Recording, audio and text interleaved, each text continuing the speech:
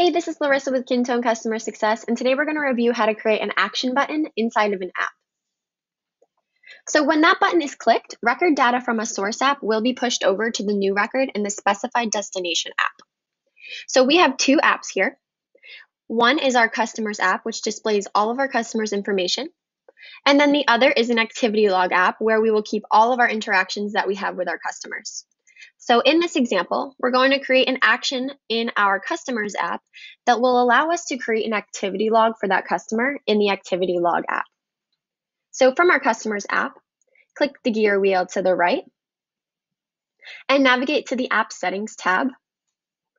Under advanced settings, click actions. You'll click new to create that new action. So you're going to enter the name for your action. So we're going to call this one create activity log. The source field shows the name of the app the action will reside in. So this will be the app you are currently creating the action in.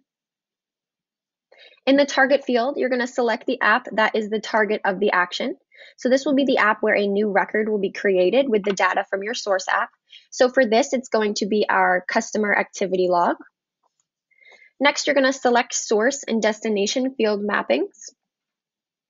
So to map fields, select a field in the source app that you want to affect the field in the target app.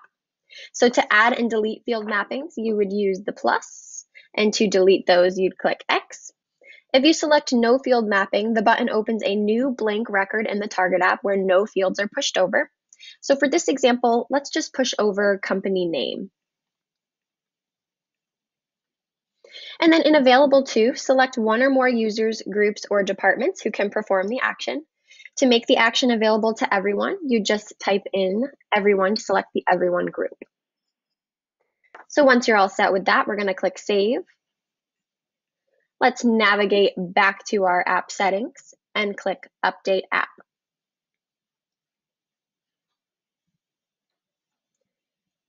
All right, so now when we're viewing a customer record, we can quickly create an activity log to record the interactions that we have with our customers.